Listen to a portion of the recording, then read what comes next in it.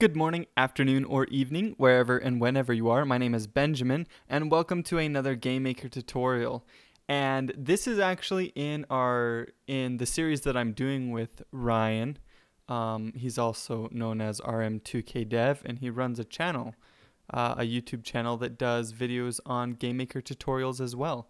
And he covers a lot of stuff that I usually don't go over, like physics, and um, he's also done some tutorials on creating music for your games and um, some neat things like that. So I'm going to put a link for his channel right here. Be sure that you go and check out his channel because his videos are really awesome. So uh, let's jump right into this video because I don't want it to take uh, too much time. I want this one to be a quick one. Today I'm going to go over INI files. And an INI file is just, it, it's a kind of a text file that has, but instead of .txt, it's .ini at the end. And computer programs can read these files and they're pretty easy to work with. So this is a this is like an example INI file here and I I tried to make the font bigger so you can see it. INI files have what are called sections. So my data right here is a section and player stats are sections. And then they have these other things called keys and number, HP, and attack. They're all keys. They're kind of like variables actually. You can save data to these keys. And these are the values associated with each key 8, 100, and 50. So this is what an INI file looks like and GameMaker can open these files and manipulate the data. You can use these to save um, information from your game, uh, maybe a high score or maybe player stats or something like that. So you can use it to save quite a bit. And I'm going to show you how to do that in GameMaker. So let's pull up my file here. This is a pre-made uh, GameMaker thing. I've got a sprite save, which is green, sprite load, which is blue. I've got two objects, object save and object load. Now let's look at object save first. When they click on this, what it's going to do is it's going to open an ini file called so it calls in ini.open and then the string is the file path. So save.ini, that's the file that we're going to open. Then we do ini write real, okay?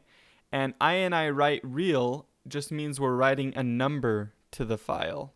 Um, we're not writing a string value or uh, we're not writing a character like words, we're writing a number. So the first um, argument or parameter is the section. And if you remember, I had a section inside the INI file called my data. So the first parameter is the section. The second one is a key, which is number, right? And if you come into this INI file, we got number right here. And the third one is a value, and I'm just giving it a random value um, between 1 and 10. And then after we do that, we close the INI file, and I just show a message saying that a new number has been saved to the INI file. And then if we go into the load, it's essentially the same thing. There's a left press, and you come into it, and we open the INI file just like before, save.ini, and we create um, a variable from the INI file. This time we're reading a real or reading a number from the file instead of writing it. And it has three parameters as well. The first one is the section, which you can see is my data.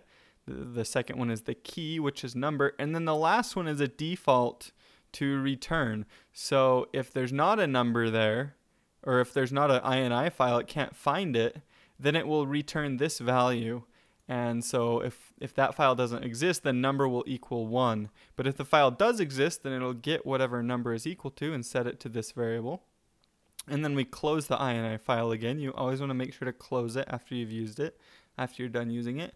And then we show a message which just contains that number that we just got from the file. So let me show you how this works. I'm going to run the game real fast and show you how this works. INI files are really, really useful in GameMaker, and uh, they're really easy too. So uh, they don't take it doesn't take a lot of um, a lot to be able to read and write from an INI file. So you can see this is our save. So if we press save, a new number has been saved, and if we press load, it's going to load zero because that was the number we just saved. We save another number, that'll be another random number we can load we're loading the number 4, so it created a new random number. Now what you'll notice is if I press this a few times and load the number, we get the number 9. Okay, that's a great number. But if I close the game and then I run the game again, the INI file is still there and number still equals 9. And so if we load before we save, so if we load before we save, you can see that it's still saved as 9 in the INI file. And it will always be saved as 9. We can close the game again, run it again, and it's still going to be saved as 9 because we're saving that data to the INI file. So that's uh, basically the quick rundown on INI files and how they work, and they're very useful. Hopefully this video helped you. Uh, thank you guys for watching so much. Once again, I'm going to put Ryan's channel right here. Be sure and go check out his channel. It is now his turn, so I'm sure he's going to come up with something real cool to teach you guys too, and it'll be, uh, real fast as well. So thank you guys for watching. Like, favorite, and subscribe, and I will talk to you guys later.